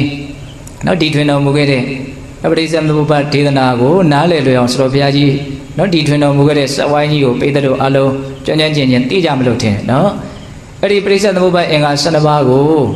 ဒါလူပဲဒါနတ်ပဲဒါငါပဲဒါသူပဲဒါပုဂ္ဂိုလ်တ attva ပဲလို့အမှားယွင်ယွင်ဆွဲလန်းပြီးတော့နေကြတယ်ဆိုတဲ့အနေအထားလေးကိုဆိုတော်ကြီးကရေးတာဟုတ်လားဝတ္တန်တရားရှိမင်းစွာ၌သူငါကစဖြစ်သည်မြကတတ္တမဟုတ်ဓမ္မံထုတ်သောနာယုံနှစ်သိန်းအမြင်လင်းလို့နော် ဖြစ်ပေါ်နေတဲ့သဘာဝတရားတွေဟာသူလည်းမဟုတ်ဘူးငါလည်းမဟုတ်ဘူးပုဂ္ဂိုလ်တ attva လည်းမဟုတ်ဘူးတဲ့နာယုံနှစ်သိန်းအမြင်လင်းလို့အရင်အဝိဇ္ဇာထိုမှဖြာ၍ရှရာမရဏအဆုံးကြသည့်ဓမ္မအပြား12ပါးကိုနော်အဝိဇ္ဇာပြည့်စရာသင်္ခါရသင်္ခါရပြည့်စရာဝိညာဏနောက်ဆုံးဘယ်မှာဆုံးတော့တော့ဇာတိပြည့်စရာဇရာမရဏတောကပရိဒေဝဒုက္ခဒုမရတဥပါယတာအဲ့ဒီမှာဆုံးအရင်အဝိဇ္ဇာထိုမှဖြာ၍ဇရာမရဏအဆုံးကြသည့်ဓမ္မအပြား12ပါးကို ဤကားလူပင်ဤလင်နှစ်ပဲအထင်လွဲလျက်တဝဲလီလီဝင့်ွယ်စီ၏တဲ့ဒါတွေကိုပဲတရားဓမ္မတို့ဦးဇင်းတို့တွေကတက္ကာယတိတိနဲ့ပုဂ္ဂိုလ်တ attva ငါသူဆိုတဲ့အထင်မှားမှုကြီးနဲ့နေနေကြလို့တဝဲလီလီဝင့်ွယ်စီ၏နော်တန်တရားဝရှင်ရဲတဲ့ကမလွတ်နိုင်တာအဲ့ဒီတက္ကာယဒိဋ္ဌိဆိုတဲ့တန်ရောစဉ်ကျိုးကအဓိကချီနှောင်ထားလို့တဝဲလီလီဝင့်ွယ်စီ၏ရှိလေသမျှအနန္တကဒုက္ခဟူသည် မြူမြမကွက်အဆက်ဆက်လျင်တတ္တဒုက္ခဓမ္မံရသည်ဘဝဤကိုဖြစ်ထုံးသည်လို့ဆိုလိုကြီးရရေးတယ်ဟုတ်ရဲ့လားအဲ့တော့ဦးဇင်းတို့ပြည်သက်ပေါင်းသူတို့ကောင်းတို့မွေးဖွားခြင်းနဲ့သိဆုံးခြင်းရဲ့ဈာမှာဖြစ်ပေါ်နေတဲ့အနေအထားတွေကဘာတွေလဲလို့မေးရဲ့ဒါတွေပဲဟုတ်ရဲ့လားဖြစ်နေကြတွေပဲဖြစ်ပြီးတော့ပြီးနေကြပြီးသွားပြီးတော့နောက်ထပ်ထပ်ပြီးတော့မယိုးနိုင်မအီနိုင်ဒါကပဲတရားဓမ္မတို့ဦးဇင်းတို့တွေကထပ်ထပ်ထပ်ထပ်ပြီးတော့ဖြစ်အောင်ဖန်တီးနေကြရမရောက်ဘူးလားရောက်တယ် အဲ့ဒါကိုမြတ်စွာဘုရားဟောတာနော်ပုဏ္ဏပုဏ္ဏဇာတိမိယတိသပုဏ္ဏပုဏ္ဏတိဝတိကဟရန္တိနော်အဖမန်ထထသင်္ချိုင်းကိုလည်းပဲဒီရုပ်အလောင်းကိုသေတာကိုခံကြရတယ်တဲ့နော်ဒါနဲ့ပတ်သက်ပြီးတော့မြတ်စွာဘုရားနော်ဟောပြထားတဲ့ဒေသနာတစ်ခုရှိတယ်နော်ကတတိဝတိကသင်္ချိုင်းမြေကိုတိုးပွားစေခဲ့လှပြီလို့ဒီအသုံးလုံးလေးရှိတယ်နောက်ဦးဇင်းတို့နဝတကတန်ယုံမှာတတ္တဝတူဦးစီတယောက်စီရဲ့ ဝါတန်တရားမှာကျင်လည်ခဲ့ရတဲ့အနေအထားတွေဘယ်လောက်များလဲအဖမန်ထထတွေဘယ်လောက်များခဲ့လဲဆိုတာကိုမြတ်စွာဘုရားကပုံပေါ်ဟောတဲ့ဒေသနာတွေအများကြီးရှိတယ်တတ္တဝတူစီတယောက်စီရဲ့နော်အယိုးတွေကိုများတကယ်လို့စုထားလို့ရာတကောင်းဆိုလို့ရှိရင်နော်ဒီဗဒ္ဒကဘာဒီကဘာမှာကိုပဲနော်ဝေပုံလားတောင်ကြီးထက်တောင်ပို့ပြီးတော့မြင့်နိုင်တယ်တဲ့တတ္တဝတူတယောက်စီရဲ့အယိုးဟုတ်လားပြီးတော့ဦးဇင်းတို့တတ္တဝတူတယောက်စီရဲ့ ဘောတန်တရားတစ်လျှောက်မှာခေါင်းကိုအဖြတ်ခံရလို့နော်လေဘင်းကထွက်ကြလာတဲ့သွေးကိုတကယ်လို့စုထားလို့ရာတကောင်းဆိုရင်မဟာသမုဒ္ဒရာလေးချင်းမှာရှိတဲ့ရေထဲတောင်များမယ်လို့ဒီလိုလဲဟောတယ်တတ္တဝဒုစီတယောက်စီရဲ့တောက်သုံးခဲ့တဲ့အမိရဲ့နှုတ်ရည်တွေကိုစုထားလို့မြန်ရာသကောင်းဆိုရင်မဟာသမုဒ္ဒရာလေးထဲမှာရှိတဲ့ရည်ထက်များမယ်လို့ဒီလိုဟောတာလည်းရှိတယ်တတ္တဝဒုစီတယောက်စီရဲ့ဘဝမှာအလိုမကျမှုတွေနဲ့ပတ်သက်ပြီးတော့ကြားခဲ့ရတဲ့ဒီမျက်ရည် အဲ့ဒီမျက်ရည်တွေကိုစုထားလို့မြန်ရာသကောင်းဆိုရင်မဟာသမုဒ္ဒရာလေးထဲမှာရှိတဲ့ရည်တွေထက်တောင်များတယ်လို့ဒီလိုမြတ်စွာဘုရားဟောတယ်ရှိကြခဲ့လာပြီအဖန်မှန်မွေးပြီးတော့အဖန်မှန်သေခဲ့ရတဲ့ဒီအဖန်မှန်ကိစ္စတွေဘလောက်များခဲ့ပြီလဲဆိုတာကိုဒီဒေသနာနဲ့ရှင်းပြီးတော့တွေးလို့မရဘူးလား။မြတ်စွာဘုရားလက်ထက်ကနော်ရှင်တိတ်တဆိုတာရှိတယ်။နော်ရှင်တိတ်တရဲ့အကြောင်း။အော်သူရှိတဲ့နေရာကိုမြတ်စွာဘုရားကြွသွားတော့သူကတဘာတဲ့သတင်းသုံးတာ။ အဲ့ဒါဦးဇင်းတို့တောင်ထိပ်ပေါ်ကနေပြီးတော့လှမ်းပြီးတော့ကြည့်လိုက်လို့ရှိရင်ပင်လယ်ကိုလှမ်းပြီးတော့မြင်ရတယ်။အဲ့ဒီတော့မြတ်စွာဘုရားကအဲ့ဒီကိုရင်ကိုမေးတာ။နော်ဒီပင်လေသမုဒ္ဒရာကိုမြင်တဲ့အခါကျတော့သင်ရဲ့စိတ်ထဲမှာဘလို့တွေးနေမြန်ပေါ်တော့လို့မေးတယ်ရှင်ဗျာတဲ့အဲ့တပည့်တော်ငိုကြွေးရတဲ့မျက်ရည်တွေဟာဒီသမုဒ္ဒရာလေးစင်းနဲ့များတယ်လို့ဒီတော့အဲ့လိုစဉ်းစားမိတယ်တဲ့ဟာဒီတောင်ကောင်းထဲမှာနေတော့ဘလို့စဉ်းစားမိတော့ဆိုတော့ဒီတောင်ကောင်းထဲမှာငါရဲ့ရုပ်အလောင်းငါရဲ့ခန္ဓာကို ကြိမ်ဖန်များစွာမြုပ်နှံခဲ့ဘူးပြီလို့တပည့်တော်စဉ်းစားမိတယ်တဲ့ဟောသူအချင်းချင်းဖတ်ဖတ်ထပ်ထပ်တွေကိုအများကြီးစဉ်းစားတတ်တယ်နော်ဘယ်နေရာမှာပဲဖြစ်ဖြစ်ဒီကလာမတို့အချင်းတို့အမြုပ်နှံဘူးခဲ့တဲ့နေရာဆိုတာမရှိဘူးနေရာတိုင်းဟာကိုယ်တင်ချိုင်းကြီးပဲလို့နားလည်ဖို့လိုတယ်ဟုတ်ရဲ့လားအချိန်ကာလနေတာနဲ့မြန်တာလွန်ကြာခဲ့တာနဲ့မကြာခဲ့တာဒါပဲကွာပဲသဘောပေါက်ရဲ့လားဗျအေး ဒါကြောင့်မြတ်စွာဘုရားနဗတကတန်ယုံမှာအဲ့လိုတတ္တဝတူစီတယောက်စီရဲ့နော်ရှည်လျားခဲ့လာတဲ့တနည်းအားဖြင့်အဖမန်ထက်ထက်မွေးခဲ့သေးခဲ့ရတဲ့အနေအထားတွေကိုအဲ့လိုပြောပြတာရှိတယ်နော်ဧဝံဒီကာရတံဝဘိခဝေဒုက္ခပစ္စနုဗုဒ္ဓံတိဗ္ဗံပစ္စနုဗုဒ္ဓံဖြတနံပစ္စနုဗုဒ္ဓံနော်ဂတတိဝဋ္ဌိကာဒိဗေကဘာပြောတော့အဲ့ဒီလိုနီးနေတဲ့ဒီကာရတံရှည်လျားလာဆိုတော့ကာလပတ်လုံးဒုက္ခပစ္စနုဗုဒ္ဓံဆင်းရဲဒုက္ခတွေကိုခံစားခဲ့ဘူးလားပြီတဲ့ တိဗ္ဗံပစ္စနုဗုဒ္ဓံအလွန်ချမ်းသာခက်ထန်တဲ့ခါသီးတဲ့ဒုက္ခတွေကိုလည်းပဲအလွန်ပြင်းထန်တဲ့ဒုက္ခတွေကိုရည်ညွှန်းတာနော်တခါတလေအရန်အော်ရဟေးရလောက်အောင်ခံရခက်တဲ့ဒုက္ခတွေမရှိဘူးလားရှိရနော်ငိုရကြွေးရတကယ့်ကိုတက်မတက်ချက်မတက်ပူလောင်ရတာဆင်းရဲတာမရှိဘူးလားနော်အဲ့ဒီလိုဒုက္ခမျိုးကိုတိတ်ပပြင်းထန်တဲ့ခက်ထန်တဲ့ဆက်ရှားတဲ့ဆူရှားတဲ့ဒီလိုဒုက္ခဝေဒနာတွေကိုပြောတာအဲ့ဒီလိုဒုက္ခတွေကိုလည်းပဲပစ္စနုဘုဒ္ဓခံစားခဲ့ဘူးလားလေကြီးတဲ့ ပြယတနာပျက်စီးမှုအမျိုးမျိုးကိုလည်းပဲပစ္စနုဘုဒ္ဓခံစားခဲ့ဘူးလားလေပြီတဲ့ဘဝမှာပျက်စီးတာတွေအများကြီးတွေ့ရကြုံရပြီးတော့ပျက်စီးမှုနဲ့ပတ်သက်ပြီးတော့ဒုက္ခရောက်ခဲ့တာတွေခံစားခဲ့ဘူးလားပြီတဲ့မဆုံးနိုင်အောင်ခံစားခဲ့ဘူးလားပြီဂတတိဝဋ္ဌိကသင်ញိုင်းမြေကိုတိုးပွားစေခဲ့ဘူးလားပြီတဲ့ဟောတဝါရတယ်ဒီခန္ဓာနဲ့နော်ထိုက်တန်တဲ့မြေကြီးတော့ဘာဖြစ်သွားတော့တိုးသွားတာပေါ့သဘောပေါက်ရဲ့လား အဲ့လိုအဖမှန်ထက်ထက်ဖြစ်နေတဲ့သဘာဝတရားတွေကိုရသော်ဘုရားကပုံပုံပြောပြတာနော်ပုဏ္ဏပုဏ္ဏဇာယတိမိယတိသပုဏ္ဏပုဏ္ဏတိဝတိကဟရန္တိအဲ့ဒါကိုဏီကုန်းကျုပ်ဘလို့ဆုံးသတ်မလို့မဲခင်စလက်တာအပုဏ္ဏဘဝယနပုဏ္ဏပုဏ္ဏဟောဇာယတိဘူရိပညောတဲ့နောက်အဓိပ္ပာယ်ကမပြောတော့အပုဏ္ဏဘဝယတဲ့နောက်အဖမှန်ထက်ထက်မဖြစ်ဖို့ရန်လွန်ကမဲခင်စမက်ကိုလက်တာရပြီးတော့ နော်ဘူရိပညောအလွန်ဉာဏ်ပညာကြီးတဲ့ပုဂ္ဂိုလ်ဟာနပုဏ္ဏပုဏ္ဏအဖမှန်ထက်ထက်နဇာယတိမဖြစ်ရတော့ဘူးတဲ့နော်ဆိုလိုတာကဉာဏ်ကြီးတဲ့ပုဂ္ဂိုလ်တွေဟာအဖမှန်ထက်ထက်မဖြစ်ခြင်းရဲ့အကြောင်းတရားဖြစ်တဲ့လမ်းကြောင်းအမှန်နော်သူတော်ကောင်းတရားကိုရပြီးတော့သိပြီးတော့နော်အဖမှန်ထက်ထက်မွေးဖွားတဲ့အနေအထားကိုသူတို့ဟာရှက်ဆိုင်အောင်လုပ်နိုင်ကြတယ်လို့ပြောတာတော့ဦးဇင်းတို့အဖမှန်ထက်ထက်နောက်ဖြစ်ပေါ်နေတဲ့ဒီဒုက္ခဆက်လက်ပတ်နေတာကြီးကိုရက်ဆိုင်သွားခြင်းတယ်ဆိုလို့ရှိရင်ဘာလို့ရမှာတော့ဆိုတော့ မက်ကင်နော်မက်ကင်ရှစ်ပါဒီမှာတော့မက်ကင်လို့ထားလိုက်ဟောတယ်မက်ကင်ဆက်လက်တာအပုဏ္ဏဘဝယနော်မက္ခဆိုတဲ့နိဗ္ဗာန်ချမ်းသာကိုရစေတဲ့ရောက်စေတတ်တဲ့လမ်းကြောင်းကိုရပြီးတော့နောက်ဖမန်ထက်ထက်မဖြစ်အောင်သူကြိုးစားလို့နောက်ဖမန်ထက်ထက်မဖြစ်တဲ့အနေအထားမျိုးထိသူရောက်သွားတယ်လို့ဒါပြောတာအခုတရားဓမ္မတို့ရှင်တို့ဒီမှာကြိုးစားအထုတ်နေကြတဲ့လမ်းစဉ်ကလည်းပဲတပည့်ကင်ရှင်ပါလမ်းစဉ်လို့ပြောရင်လည်းပဲမလွဲပါဘူးအတူတူပါပဲဟုတ်လား သတိပဋ္ဌာန်တရား၄ပါးလို့ပြောရင်လည်းမလွယ်ဘူးအတူတူပဲနောက်ကိုယ်ခန္ဓာရဲ့အကြောင်းကိုမှန်မှန်ကန်ကန်သိအောင်ကြိုးစားအထုတ်ကြတယ်ဒီခန္ဓာမှာဖြစ်ပေါ်နေတဲ့သဘာဝတရားတွေရဲ့ပုံမှာမမှန်ကန်ကန်အောက်မေ့အမှတ်ရလိုက်တဲ့အမှတ်ရလိုက်တဲ့အဲ့ဒါဘာဖြစ်တယ်လို့ဆိုတော့တမ္မာတတိဖြစ်တယ်ပေါ့ဟုတ်လားအဲ့ဒီတမ္မာတတိကိုနော်မိမိတို့ဖြစ်အောင်ကြိုးစားတဲ့နေရာမှာအလကားနေရင်လကားဖြစ်လာတဲ့သဘောမရှိဘူးကြိုးစားအထုံးမှဖြစ်တာအဲ့ဒီကြိုးစားအထုံးမှုကိုဘာလို့ပြောမလို့တမ္မာဝါယမမှန်ကန်တဲ့ကြိုးစားအထုံးမှု ဟုတ်လားအဲ့ဒီလိုကြိုးစားအထုတ်တဲ့အခါမှာတတိရှိရင်ရှိသလောက်စိတ်ကလေးကတည်ငြိမ်မှုရှုဆိုင်မှုဆိုတဲ့တမာတိမရဘူးလားရတယ်အဲ့ဒါကိုဘာခေါ်မလို့တမာတမာတိတမာတိမဲ့ခင်၃ပါးကိုလုံးနေတဲ့အလုပ်ကိုမဲ့ခင်ရှင်ပါးနဲ့တွဲဆက်ပြီးတော့နားလည်ဖို့လေးပြောပြတာပါလူငယ်လေးတွေအတွက်ဟုတ်လားဖြစ်ပေါ်နေတဲ့သဘာဝတရားရဲ့ပုံမှာနော်ထိမှုသဘာဝတရားတစ်ခုလေးကိုသာလည်းသိရမယ်လို့ဆိုလိုတာတော့မဟုတ်ဘူးနော်အတန်တွေကြားတာရှိတယ် အမြင်ရတာတွေရှိတယ်အနံ့တွေရတာရှိတယ်ရတာတွေစားတော့ရတာရှိတယ်အတွေးကြံတွေတွေးကြံရတာကမရှိဘူးလားရှိရနော်ဘယ်ဖြစ်ချင်းတရားရဲ့အပေါ်မှာမဆိုအမှန်အကန်အပိုးအလိုမရှိဖြစ်ရွှက်ချက်မလုံးနှုတ်ပဲချက်မပြုတ်ပဲနဲ့ဖြစ်နေတဲ့အတိုင်းလေးသိနေမယ်ဆိုရင်အဲ့ဒါကိုဘာလို့ခေါ်တော့တမာတတိဟုတ်လားအဲ့ဒီတမာတတိဖြစ်အောင်အားစိုက်တာကိုဘာခေါ်တော့တမာဝါယမအဲ့ဒီလိုတမာတတိနဲ့တမာဝါယမနဲ့ပေါင်းပြီးတော့အလုပ်လုပ်တဲ့အခါမှာတမာတမာတိဆိုတဲ့တည်ငြိမ်မှုမရဘူးလားရတယ် အဲ့ဒီတည်ငြိမ်မှုရတဲ့အခါမှာသူ့ရဲ့စဉ်းစားမှုကြံစည်မှုလေးတွေကအလွန်တရာမှမှန်းလာတယ်တမာသင်္ကပ္ပနော်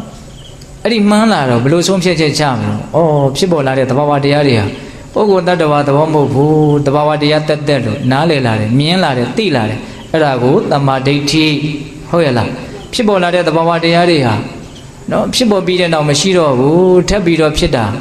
ထပ်ပြီးတော့ဖြစ်တာလည်းပဲပြီးရင်မရှိဘူး နောက်ထပ်ထပ်ပြီးတော့ဖြစ်ပြန်တယ်အဲ့ဒါလည်းပြီးရင်မရှိတော့ဘူးလို့အဲ့ဒီဖြစ်ပေါ်ဖြစ်ပေါ်လာတဲ့သဘောဝတရားတို့ရဲ့မရှိတော့တဲ့သဘောပျောက်ကွယ်ပျောက်ကွယ်သွားတဲ့သဘောပြီးရှုံးပြီးရှုံးသွားတဲ့သဘောကိုသိလာပြီးမြင်လာပြီးရှင်တဲ့ဒါပါခေါ်မလို့တမာဒိဋ္ဌိမှန်ကန်တဲ့အမြင်ပညာမဲ့ခင်နှစ်ပါးပေါ့နော်အဲ့ဒီဦးဇင်းတို့တမာဒိဋ္ဌိတမာတမာတတိတမာဝါယမတမာတမာတိဆိုတဲ့တမာတိမဲ့ခင်သုံးပါးရဲ့ တမာဒိဋ္ဌိတမာသင်္ကပ္ပဆိုတဲ့ပညာမဲ့ခင်နှစ်ပါးရဲ့ဒါကိုဦးဇင်းတို့မဟုတ်ဆိုတော့ဘုရားကြီးကဘယ်လိုပြောတော့လှုပ်သားမဲ့ခင်၅ပါးလို့ပြောတယ်နော်စောစောကပြောခဲ့တာထဲမှာဘာကျမ်းနေတော့တိလမဲ့ခင်သုံးပါးကျမ်းတယ်နော်တိလမဲ့ခင်သုံးပါးကနော်တရားအမထုတ်မီရှေ့ဖို့တွေကစပ်ပြီးတော့ပြည့်စုံအောင်မလုပ်ထားကြတော့စ조사စ조사ပြီးတော့ထားကြရတာနော်တကယ်တကယ်ဦးဇင်းတို့လောကီလို့ပြောမယ်ဆိုလို့ရှိရင်ဒီလိုတရားဘာဝနာလုပ်ကိုအားဆိုင်ပြီးတော့စ조사နေတဲ့အချိန်မှာဒီသီလမဲ့ခင်တွေကလည်းပဲ နော်ပြည့်စုံနေတယ်လို့မဆိုရဘူးလားပြည့်စုံနေတာပဲနော်မှားယွင်းတဲ့အပြောတွေမရှိဘူးမှားယွင်းတဲ့အလုပ်တွေမရှိဘူးမှားယွင်းတဲ့အသက်မွေးဝမ်းကြောင်းမှုလည်းမရှိဘူးတမသင်္ကပ္ပတမဝါစာတမကမ္မန္တတမအာဇီဝသီလမဲ့ခင်သုံးပါလေပြည့်စုံအဲ့တော့ပြောရလို့ရှိရင်တော့တတိတစ်ချက်မှန်မှန်ကန်ကန်ထားလိုက်တိုင်းထားလိုက်တိုင်းမဲ့ခင်ရှင်ပါကအကျုံးဝင်ပြီးတော့ဖြစ်ပေါ်သွားတာကိုမတွေ့ရဘူးလားတွေ့ရတယ်ဟုတ်ရဲ့လားအဲ့ဒါဘာလုပ်နေတာတုံးလို့မေးလို့ရှိရင် နော်ဒီအဖမှန်ထက်ထက်ဖြစ်နေရတဲ့ဆင်းရဲတဲ့ဘဝတန်တရားကိုရက်ဆိုင်သွားအောင်ကြိုးစားတာအောင်ကိုတည်တည်ဖြစ်စေမတည်တည်ဖြစ်စေနားလေတည်ဖြစ်စေနားမလေတည်ဖြစ်စေတချို့တချို့ကိစ္စကသူ့အကျိုးသက်ရောက်မှုနဲ့သူသွားနေတာနော်ဆိုရမှာဆိုကျွတ်တို့ယောဂဖြစ်လို့ဆေးတွေဘာတွေတောက်ပြီဆိုလို့ရှိရင်ဒီဆေးကဘယ်ယောဂပုဂ္ဂိုလ်နော်ဘလို့တက်ပြစ်တာသူကဘလို့အစွမ်းရှိတာအခုခန္ဓာကိုယ်ထဲမှာဘလို့တွေအလုပ်တွေလုပ်နေပါပြီလို့ဒကာမတို့ဦးဇင်းတို့သိသလားမသိပါဘူး။ ဥတိတိမတိတိဆေးဘိုက်ထဲရောက်သွားတဲ့ဆေးကသူ့လို့သူလှုပ်သွားမှာပေါ့ဟုတ်တယ်မဟုတ်လားအဲ့လိုပဲကိုယ့်ရဲ့တာဝန်ကဘာလုပ်ရမှာတော့တတိပဲထားရမယ်တတိပဲထားရမယ်တတိထားလို့ရှိရင်နော်ဝါယမတမဝါယမပါပြီးစကတော့အလွန်ရှင်းတယ်နော်ဒီငြိမ်မှုမမှန်ကန်ကန်သိမှုဒါတွေဟာသူ့အလိုလျောက်နော်တတိတလက်ဆက်ထားခြင်းရဲ့အစွမ်းတတိကြောင့်ဖြစ်ပေါ်ပြီးတော့မလာပေဘူးလားလာမယ်ဟုတ်လားအဲ့တော့ကိုလိုရမယ့်လောက်ကပါလေဖြစ်တိုင်းဖြစ်တိုင်းတတိလေးထားပြီးတော့နေလိုက်ဖို့ပဲ ဖြစ်တိုင်းဖြစ်တိုင်းမှန်မှန်ကန်ကန်တိတိတိတိပြီးတော့နေလိုက်ဖို့ပဲတော့ဒီနေ့မှာဦးဇင်းတို့နော်တရားထုတ်တယ်ဆိုတာနော်ထိုင်တဲ့အခါလေးမှသာလေဝါယမစိုက်မယ်လို့တွေးထားလို့မပြည့်စုံဘူးနော်ကျန်တဲ့အချိန်တွေမှာလုံနိုင်ရင်လုံနိုင်တဲ့လောက်ထိုင်တဲ့အချိန်မှာအများကြီးပို့ပြီးတော့နော်အကျိုးရှိလိမ့်မယ်နော်ကျန်တဲ့အချိန်တွေကလည်းဘဝပဲလေကျန်တဲ့အချိန်တွေမှာတရားကိုနော်ရှုမှတ်မှုမရှိဘူး ကျန်တဲ့အချိန်မှာကိုယ်သတိထားပြီးတော့မနေဘူးဆိုရင်ကျန်တဲ့အချိန်မှာကိုယ်ဘလို့ဖြစ်နေမလို့သတိလက်လို့ဖြစ်နေမယ်ပေါ့တတိလက်လို့ဖြစ်နေမယ်ဆိုရင်တွေ့ကြုံလာတဲ့အာယုံအနေထားပေါ်မှာမူတည်ပြီးတော့ကိလေသာမျိုးစုံကလည်းဖြစ်နေမှာပဲအပူမျိုးစုံအရှုပ်မျိုးစုံကကြီးတာနဲ့သေးတာပဲกว่าမယ်တရားအမထုတ်ဘူးမမှတ်ဘူးဆိုတာနဲ့သူကမဖြစ်နေတော့ဖြစ်နေမှာနော်တရားထိုင်ပြီဆိုတော့မှတရားမမှတ်ခင်တုန်းကကိုရှုပ်ခဲ့တဲ့ပူခဲ့တဲ့ကိစ္စကြီးကိုထိုင်ပြီးတော့မလုပ်ရပြန်ပြီတော့ဖြည့်ရှင်းရပြန်ပြီအဲ့လိုဖြစ်နေတာသဘောပေါက်ရလား အဲ့တော့ကျန်တဲ့အချိန်တွေမှာကိုကတတ်နိုင်တဲ့မြတ်တတိထားပြီးတော့နေတာဟာထိုင်တဲ့အချိန်မှာအယံထိတိရောက်ရောက်ဖြစ်ဖို့အတွက်အားကြီးတဲ့အကြောင်းတရားတစ်ခုမဖြစ်ဘူးလားဖြစ်တယ်။ဒါကြောင့်တရားတိုးတက်တယ်ဆိုတဲ့လူတွေကများသောအားဖြင့်ကျန်တဲ့အချိန်တွေကိုထိုင်တဲ့အချိန်နဲ့ဒန်းတူတန်ဖိုးထားပြီးတော့လောက်ကြတဲ့ပုံကိုယ်တွေဟာတရားတိုးတက်တာပဲ။ဟုတ်တယ်မဟုတ်လား။ဒါကနားမလဲစရာတော့ဘာမှမရှိပါဘူးနော်။ဒါကြောင့်ကျန်တဲ့အချိန်တွေမှာကိုကအများကြီး view ဆိုင်ဖို့မလိုဘူးလား။လိုတယ်။ တော့ထိုင်တဲ့အချိန်ကတော့တတ်တတ်မမတ်ထိုင်တာပဲဆိုပြီးတော့စိတ်ကဒါကိုအများကြီးအာယုံစိုက်ဖြစ်တယ်ပေါ့။တော့ဒါတောင်မှတော့လွတ်လွတ်လွတ်လွတ်သွားတာတွေအများကြီးရှိနိုင်သေးတာပဲတော့ကျန်တဲ့အချိန်မှာကိုကကိုင်းတရားဖြုတ်လိုက်ပြီဆိုတာနဲ့လွတ်လပ်သွားပြီဆိုတဲ့သဘောမျိုးကြီးမြန်ထားလိုက်မယ်ဆိုရင်တော့ဘာဖြစ်သွားမလို့လွတ်လွတ်လပ်လပ်ကြီးကိုပဲလောဘဒေါသမောဟတွေကဖြစ်နေတော့မှာပဲဟုတ်တယ်မဟုတ်လားအဲ့လိုဆိုရင်ထိုင်တဲ့အချိန်မှာ တော့အသားကျနိုင်တယ်လို့ကိုမရှိပဲနဲ့တော့ပင်ပင်ပန်းပန်းဆင်းရဲထူထောင်ရတဲ့အနေအထားမျိုးကိုကြော်လွှားနိုင်မှာမဟုတ်သဘောပေါက်ရဲ့လားဒါကြောင့်ကျန်တဲ့အချိန်တွေမှာလည်းပဲစူးစမ်းပြီးတော့တတိကတ်ထားတဲ့အလုပ်ကိုလုံမသားနဲ့ထိုင်တဲ့အချိန်မှာဥပြီးတော့ကိုယ့်ရဲ့စိတ်ထဲမှာကျင့်တတ်မှုကိုရစေလိမ့်မယ်ပေါ့ဒါကလူငယ်တွေအတွက်ပြောပြတာဟုတ်လား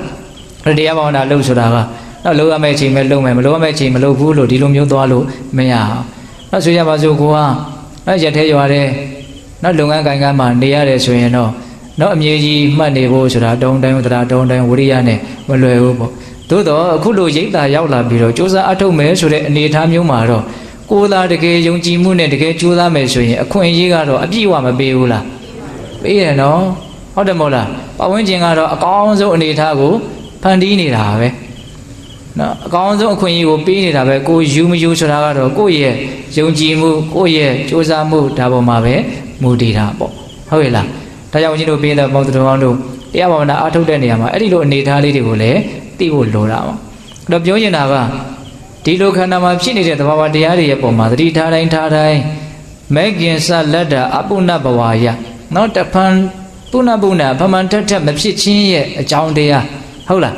ထက်ခါထက်ကဖြစ်နေတဲ့သဘာဝတရားကြီးကိုကြုံငိမ့်ဖို့အတွက်အလွန်မြင့်မြတ်တဲ့ နှကျင့်စဉ်ကိုကျင့်သုံးနေတယ်လို့နားလည်ထားဖို့ဆိုတာကိုအဓိကပြောတာပါဟုတ်ရဲ့လား